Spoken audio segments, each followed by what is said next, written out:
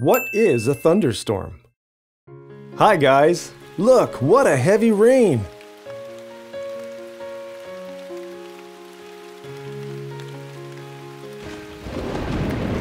Oh, it's a thunderstorm! Have you seen the lightning?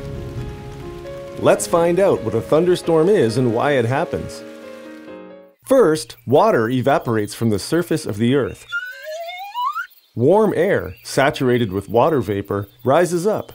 As this happens, the air cools because the higher we get above the ground, the colder it becomes. This is noticeable when you look at mountains.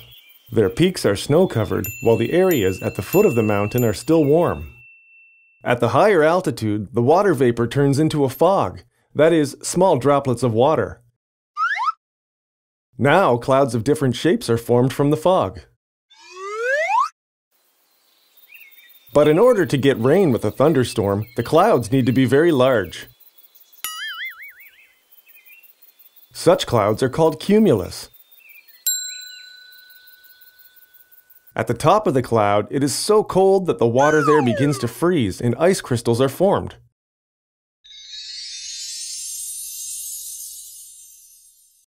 Then these crystals begin to fall and become the centers of formation of large drops of water, which move down. Look at the cloud! Its top settles down and becomes flat, and the cloud itself now resembles a mushroom or an anvil. This means that large drops are already flying down, and rain will soon pour out of the cloud. For a thunderstorm to appear, there should be a separation of the electric charge. Large and heavy cloud particles usually have a negative charge. Let's mark this with the minus sign. And lighter particles have a positive charge.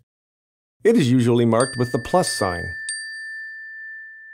Large and heavy cloud particles fall faster, and the charge in the cloud separates, creating an electric voltage.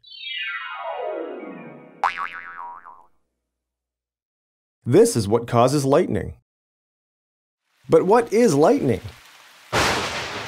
This is an electrical discharge, more precisely, an electric spark of enormous size. We can create small electric sparks in the dark if we rub a balloon against hair or clothes, woolen or synthetic ones. Look, there are the sparks.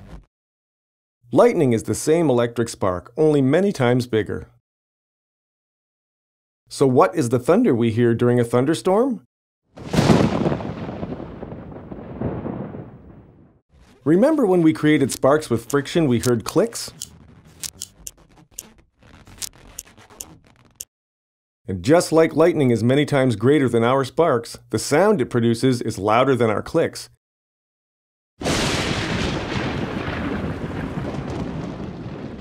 This is called thunder. Did you notice that during a thunderstorm we always see lightning first, and only after that we hear thunder?